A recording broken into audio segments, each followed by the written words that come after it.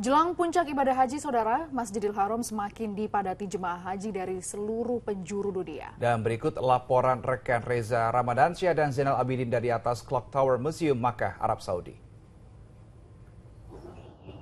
Saat ini hampir seluruh jemaah haji dari berbagai negara seluruh dunia termasuk Indonesia sudah berada di kota Mekah. Begitu padatnya saat ini kota Mekah terutama Masjidil Haram oleh umat muslim jemaah haji dari berbagai negara.